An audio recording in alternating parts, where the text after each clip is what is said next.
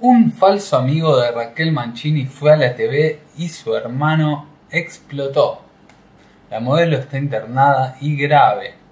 Augusto Mancini salió al aire en Desayuno Americano donde estaba sentado Cristian, quien decía que era el mejor amigo de ella, y se armó un escándalo al aire.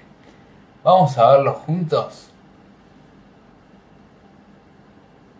Lo que sí, Pamela, Te, quiero hacer un, comentario chiquito, si no, no molesta ahí en el piso. Eh, comentarle un poquito a ese chico, ese Cristian Ali que está sentado ahí, que sigue hablando de mi hermana, que sigue diciendo que es amigo.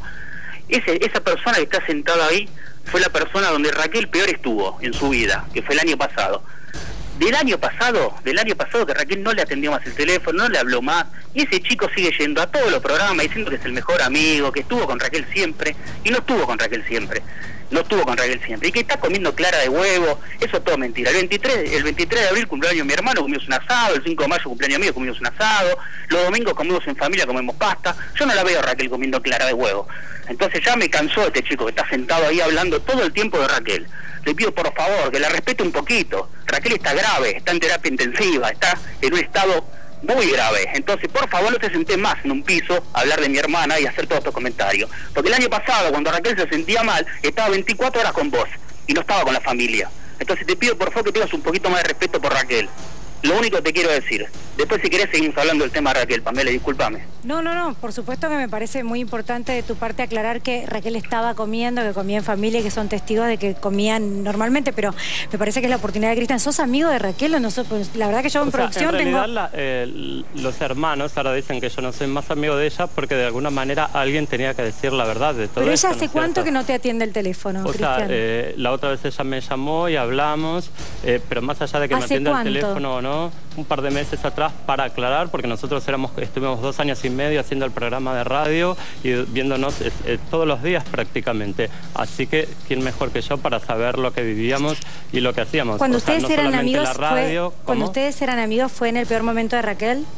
¿Sabes cuándo fue Pamela? Cuando lo, cuando lo acompañaba a los y lo acompañaba a él. ustedes no dicen la verdad. Él lo acompañaba a los dos Pamela. Raquel hay que internarla y tiene que, tiene que haber un médico. es un problema de la familia. Es un problema de la familia, no tuyo.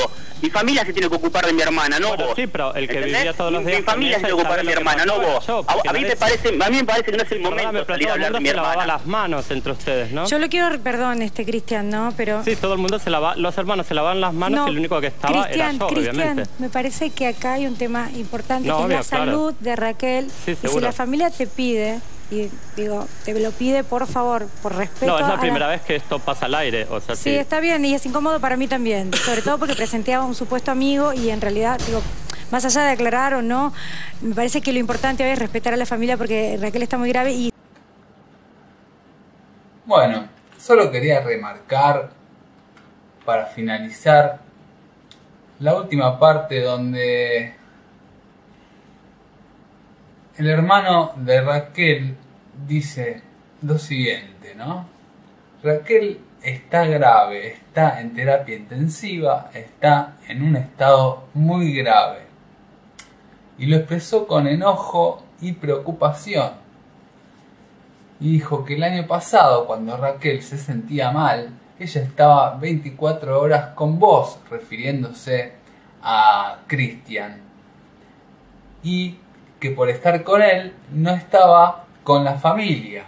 Entonces le pidió por favor que tenga un poquito más de respeto por Raquel y la familia.